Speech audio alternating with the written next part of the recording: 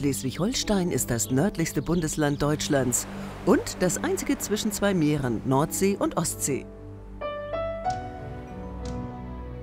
Die Vielfalt der Strände ist überwältigend und garantiert einen abwechslungsreichen Urlaub am Wasser. Dazu das einzigartige Wattenmeer und Städte, die ihre ganz eigenen Geschichten erzählen. Geschichten der Seefahrt, aber auch der Verbundenheit zu den Menschen in den Niederlanden und Dänemark, die bis heute anhält. Zur jüngeren Geschichte des Landes zählt untrennbar der Golfsport, denn im Verhältnis zur Fläche gibt es hier die meisten Golfplätze Deutschlands. Acht davon stellen wir vor. Wir beginnen unsere Reise durch Schleswig-Holstein an der Nordseeküste. Büsum ist seit dem 19. Jahrhundert Seebad, seit 1949 sogar Seeheilbad und sehr modern. Denn in der Familienlagune Perlebucht gibt es alles, was großen und kleinen Gästen aktuell Spaß macht.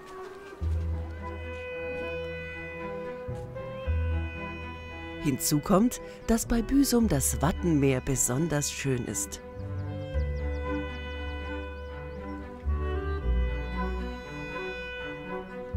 Und am Wattenmeer beginnt auch der Golfplatz von Büsum-Dithmarschen, gleich hinterm Deich. Der Platz liegt unter dem Meeresspiegel. Vor 50 Jahren herrschten hier noch Ebbe und Flut. Deswegen sind Priele und naturbelassene Wasserhindernisse auch ständige Begleiter auf dem 18-Loch-Kurs.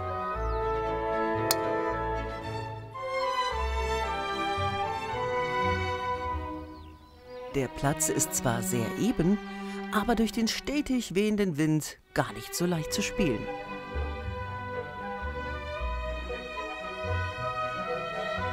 Beeindruckend die Vielfalt der Fauna, die durch das Naturschutzgebiet Wördener Loch befördert wird. Von dort kommen immer wieder auch wilde Konix, eine osteuropäische Ponyrasse, zu den Wasserstellen des Kurses. Zusammen mit den Schafen machen sie sich um die Pflege des Geländes verdient.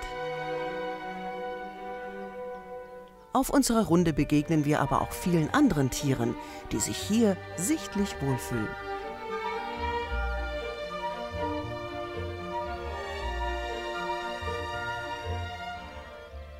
Etwas nördlich von Büsum und ein Stück von der Küste entfernt liegt eine der kleinsten Städte Deutschlands, Friedrichstadt ist benannt nach Herzog Friedrich III., der holländischen Bürgern Religionsfreiheit versprach, wenn sie ihm dafür eine Stadt errichteten. Und so entstand vor 400 Jahren ein Kleinod, das sehr an Amsterdam erinnert. Inklusive Grachten, die man auch auf eigene Faust befahren kann.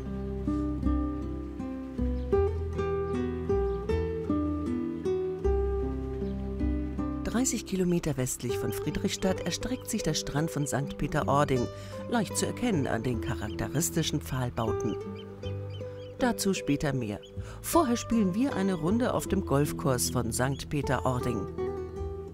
Wie der Platz von Büsum ist auch er direkt hinter dem Deich angelegt, immer wieder mit Blick auf den nahen Strand. Der Neunlochkurs des Nordsee Golfclubs wurde 1971 eröffnet und ist der erste Westküsten-Golfplatz Deutschlands. Er ist ein typischer Linkskurs, wie man ihn aus Irland und Schottland kennt. Treuer Begleiter auf der Runde ist deswegen auch der Wind. Zusammen mit hohen Roughs und vielen Naturgewässern sorgt er für große Herausforderungen. Man sollte reichlich Bälle dabei haben. Die großartige Landschaft ist wunderbar in den Platz aufgenommen. Dünengras begleitet die Fairways und die typischen nordischen Hagebuttenrosen zieren die Grüns.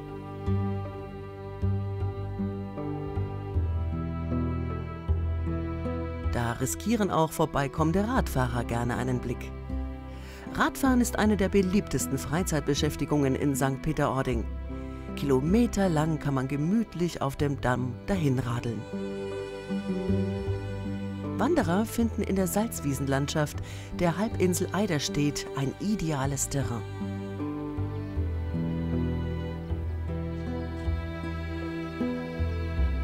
Beliebtes Ausflugsziel Der Leuchtturm Westerhefer, unverwechselbar mit seinen zwei baugleichen Häusern. Und nicht zu vergessen, der berühmte Strand von St. Peter-Ording. Seit mehr als 100 Jahren prägen die bis zu sieben Meter hohen Pfahlbauten sein Bild. In ihnen sind Umkleiden, Badeaufsicht und Restaurants untergebracht. Zwölf Kilometer Sandstrand bieten viel Raum für Aktivitäten. Und weil der Sand so kompakt ist, kann man am Strand sogar Rad fahren.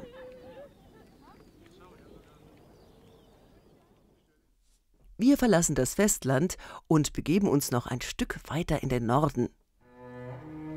Die Insel Föhr zählt zu den nordfriesischen Inseln und ist die größte und bevölkerungsreichste deutsche Insel ohne Landverbindung.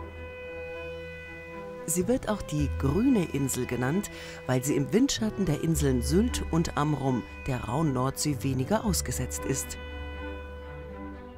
Davon profitiert auch der Golfclub Föhr im Süden, Seit 1925 kann man hier bereits Golf spielen. Er ist damit der drittälteste Club in Schleswig-Holstein. Wie so oft begann alles mit neun Loch. Nach zwei Erweiterungen wurden daraus 27 Loch, die aufgeteilt sind in drei Kurse. Angelehnt an das Clublogo haben sie die Farben Gelb, Rot und Blau.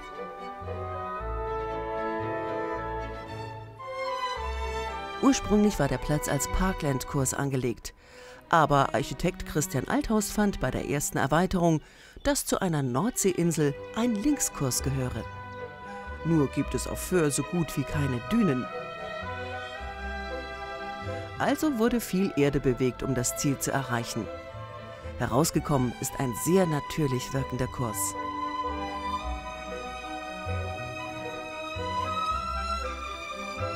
Wie es sich für einen Linkskurs gehört, weht hier auf allen Bahnen kräftiger Wind und nimmt starken Einfluss auf das Spiel. Der Platz liegt östlich von Nieblum, einem kleinen friesischen Bilderbuchdorf. Der Ort hat für seinen schmucken Auftritt bereits zahlreiche Auszeichnungen erhalten.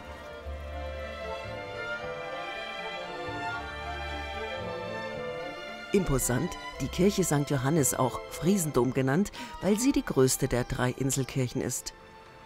Auf dem denkmalgeschützten Friedhof suchen wir nach den sogenannten sprechenden Grabsteinen.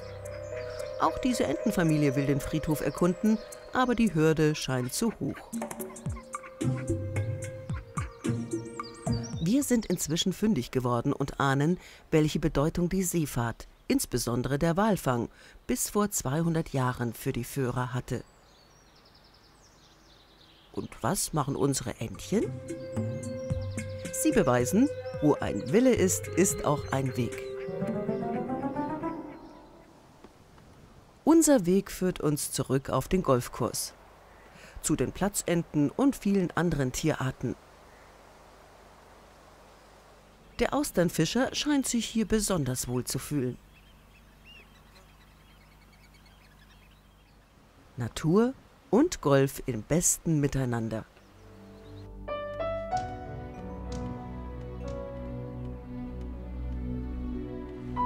Und in Schlagweite ein toller Sandstrand, der sich die ganze Südküste entlang bis in den Westen zieht.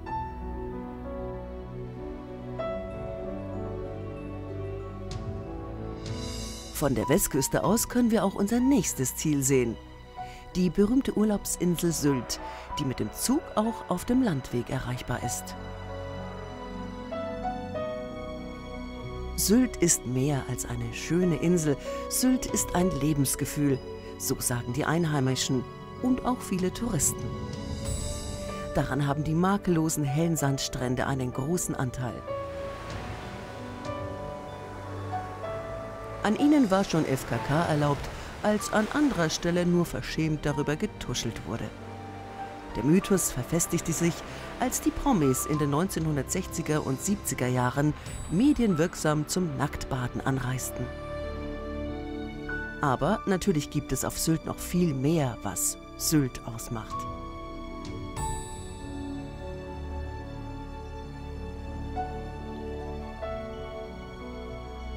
Zum Beispiel vier Golfclubs, einer davon, Der Golfclub Budersand, den Leser des Golfjournal aktuell zum beliebtesten Golfplatz Deutschlands gewählt haben. Der 18-Loch-Kurs ist top gepflegt und im klassischen Linkskursdesign angelegt. Das bedeutet viel Wind und Natur. Sylt eben. Hohe Bälle werden leicht vom Winde verweht. Den Ball flach halten lautet die Devise. Jede Bahn ist von Sand, Strandhafer und Heide umgeben. Das macht den Platz zu einem einzigen Dünenbiotop. Als typischer Linkskurs hat er Topfbunker, denn aus flachen Bunkern würde der Sand ruckzuck verweht. In Budersand lauern 94 dieser Topfbunker. Direkt neben dem Golfhotel Budersand liegt der Hafen von Hörnum, in dem auch Yachten anlegen können. Näher von der eigenen Yacht zum Golfplatz geht nicht. Der Hafen ist auch Startpunkt für Schiffsausflüge zu den Seehundbänken oder zu den Nachbarinseln. Wir machen keinen Ausflug, sondern lassen den Tag auf dem Golfkurs Budersand stimmungsvoll ausklingen.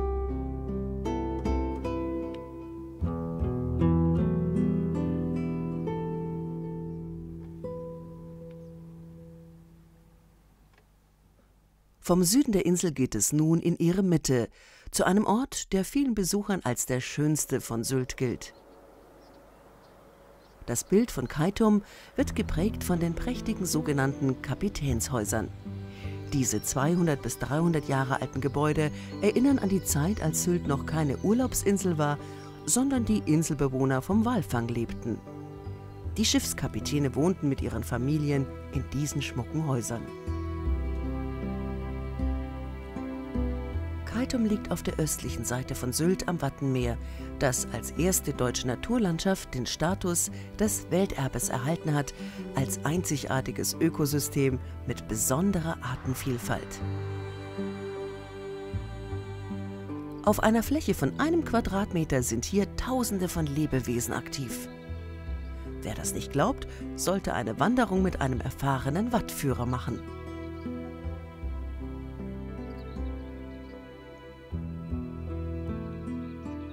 Damit verlassen wir die nordfriesischen Inseln und die Nordsee und begeben uns auf die andere Seite Schleswig-Holsteins an die Ostsee. Flensburg ist nach Kiel und Lübeck die drittgrößte Stadt Schleswig-Holsteins. Ihre nördlichen Ausläufer reichen bis nahe an die dänische Grenze. Flensburg ist bekannt dafür, dass Verkehrssünder hier Punkte sammeln können. Wenig bekannt ist hingegen, dass Flensburg im 12. Jahrhundert von den Dänen gegründet wurde und auch heute noch Dänisch in der Stadt gesprochen wird. Denn erst Ende des 19. Jahrhunderts verloren sie die Hoheit über Flensburg.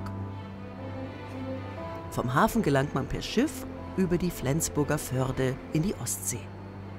Die Innenförde geht nach kurzer Fahrt in die Außenförde über, an deren Steilküste 1972 ein Golfplatz errichtet wurde.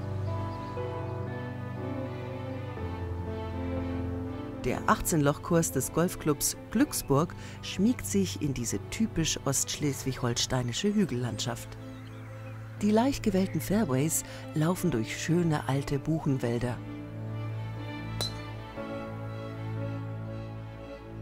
Gut platzierte Bunker und ständig wechselnde Winde fordern die ganze Aufmerksamkeit der Spieler. Und immer wieder kann man den schönen Ausblick auf die Förde genießen.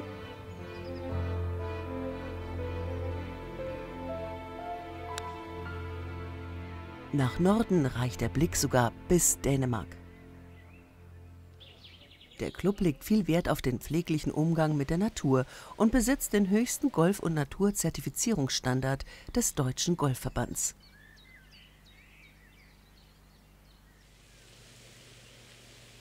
Der Platz des Fördergolfclubs Glücksburg ist wie alle Plätze in Schleswig-Holstein ganzjährig bespielbar. Das nahe Schloss Glücksburg zählt zu den bedeutendsten Schlossanlagen Nordeuropas. Erbaut Ende des 16. Jahrhunderts von Herzog Johann dem Jüngeren, einem Sohn des dänischen Königs, dient das Wasserschloss heute als Museum und gibt einen Einblick in die deutsch-dänische Geschichte der Region. Von der Flensburger Förde wechseln wir nun zum langen Arm der Ostsee. So wird die Schlei genannt, ein 42 Kilometer langer Meeresarm südlich von Flensburg, der das Hinterland mit der Ostsee verbindet. Die Breite der Schlei variiert zwischen 135 Metern und 4 Kilometern. Die durchschnittliche Wassertiefe beträgt gerade einmal 3 Meter. Bootsführer sollten also wachsam sein.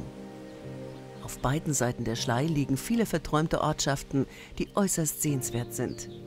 Eine davon ist Arnes, die kleinste Stadt Deutschlands mit etwas mehr als 300 Einwohnern. Besucher dürfen nicht mit dem Auto in die Stadt fahren. So bleibt der Ort angenehm ruhig und beschaulich. Die lange Straße, eine romantische Lindenallee, geht durch die ganze Stadt. An ihrem südlichen Ende die Schifferkirche. Sie wird so genannt, weil in ihrem Inneren Schiffsmodelle aufgehängt sind, die im 18. und 19. Jahrhundert von Seefahrern gespendet wurden, zum Dank für ihre glückliche Heimkehr. Die Schifffahrt spielt bis heute eine wichtige Rolle in Arnis. In dem winzigen Ort gibt es sage und schreibe drei Segelclubs und vier Schiffswerften. Am Südufer der Schlei ist einer der schönsten Golfplätze Norddeutschlands entstanden.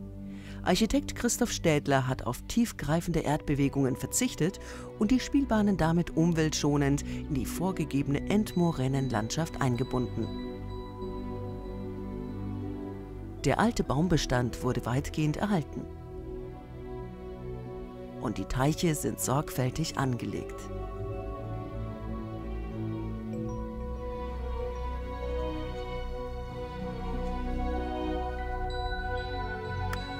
Die Fairways sind teilweise sehr hügelig, da ist Kondition gefragt.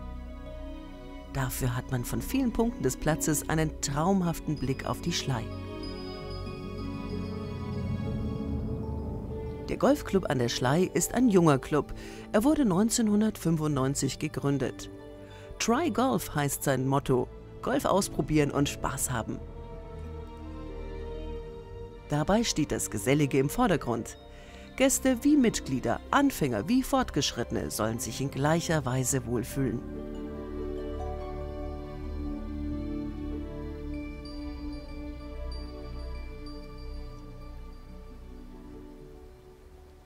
Fährt man mit dem Schiff zurück Richtung Ostsee, gelangt man auf halber Strecke zum wohl schönsten Dorf an der Schlei. Sisebü ist berühmt für seine redgedeckten Häuser, die romantisch umrahmt werden von duftenden Heckenrosen. Eine Besonderheit des Ortes, fast alle Häuser gehören einer Familie. Denn Mitte des 19. Jahrhunderts veräußerte ein Hamburger Kaufmann den Ort an die herzogliche Familie Schleswig-Holstein-Sonderburg-Glücksburg, die gleiche Familie, der das Wasserschloss Glücksburg gehört. Sisebü kann man über die Lindaunisbrücke auf die andere Seite der Schlei wechseln. Die rund 100 Jahre alte Hebebrücke wird wechselweise für den Auto- bzw. Bahnverkehr freigegeben. Einmal pro Stunde wird der aufklappbare Teil außerdem geöffnet, um Schiffe durchzulassen. Die Brücke ist beliebtes Fotomotiv, ebenso wie dieses Gebäude in Lindau, das als Drehort der ehemaligen Fernsehserie Der Landarzt bekannt wurde. Heute ist es ein zauberhaftes Café. Vom kleinen Dorf Lindaunis an der Schlei reisen wir weiter in die Landeshauptstadt Schleswig-Holsteins. Kiel ist die nördlichste Großstadt Deutschlands und weltweit bekannt durch die jährlich stattfindende Kieler Woche. Ein Segelevent der Superlative, aber auch ein riesiges Volksfest mit zahllosen Ständen und mehr als 300 kostenlosen Live-Konzerten. Kern der Veranstaltung ist aber der Segelsport.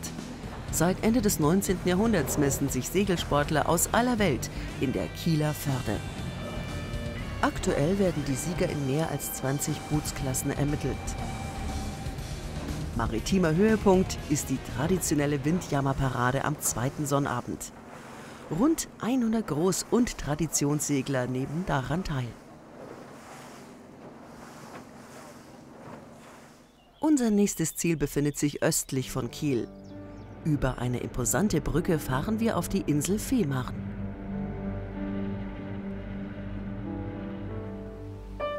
Kaum auf Fehmarn angekommen, können wir auch schon in die Golfrunde starten.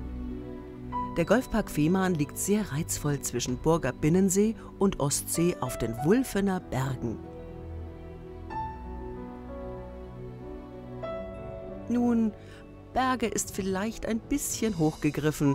Das ADAC Reisemagazin will im Wulfener Berg das Gegenstück zur Zugspitze, dem höchsten Berg Deutschlands, ausgemacht haben.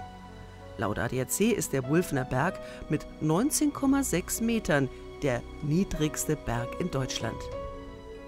Sei es drum, trotzdem sieht man von fast jedem Tee oder Grün die Ostsee, weil das übrige Gelände noch flacher ist. Die Bahnen 3 und 4 verlaufen sogar direkt an der Ostsee entlang. Highlight ist das Inselgrün der Bahn 9, dessen Form Fehmarn nachempfunden ist. Seit 1992 kann man hier Golf spielen, seit 2001 auf 18 Loch. Der Club legt Wert auf eine freundschaftliche Atmosphäre. Sein Motto? Offen, herzlich, ungezwungen, scheint gut anzukommen. Immerhin hat er über 1000 Mitglieder. Auf der anderen Seite der Insel an der Nordküste befindet sich der Grüne Brink, Naturschutzgebiet und Vogelparadies in einem.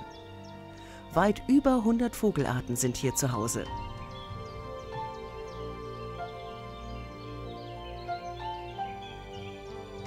Drei Kilometer östlich der Fährhafen Puttgarten, ein wichtiger Teil der berühmten Vogelfluglinie zwischen Hamburg und Kopenhagen. Unser nächstes Ziel ist aber nicht Kopenhagen, sondern die alte Hansestadt Lübeck. Wer kennt es nicht? Das Holstentor, Wahrzeichen von Lübeck und bis zur Einführung des Euro schmuckvolle Rückseite des 50 D-Mark-Scheines. Die Stadt an der Trave war im Mittelalter Hauptstadt der Hanse. Die großartigen Backsteingebäude der Altstadt bezeugen, wie reich Lübeck damals war. Wir folgen der Trave ein Stück flussabwärts und erreichen nach kurzer Zeit Travemünde. Das ehemalige Fischerdorf an der Ostseemündung ist heute ein Ortsteil von Lübeck und schickes Seebad.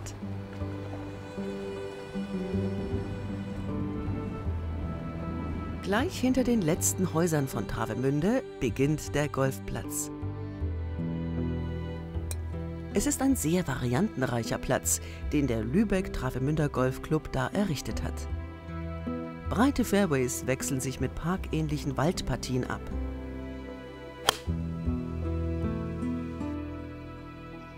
Wasserhindernisse und geschickt platzierte Bunker sorgen für zahlreiche Herausforderungen. Und immer wieder der schöne Blick auf die Ostsee.